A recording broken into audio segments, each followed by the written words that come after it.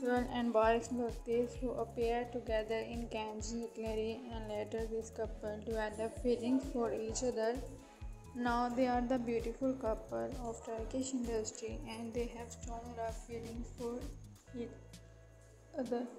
Not only that, a new development has also taken place and Yağmur and Barış have decided for engagement. Yes guys, meanwhile Barış Baktaş has proposed Yağmur Yüksel for engagement and Yağmur has also accepted the proposal.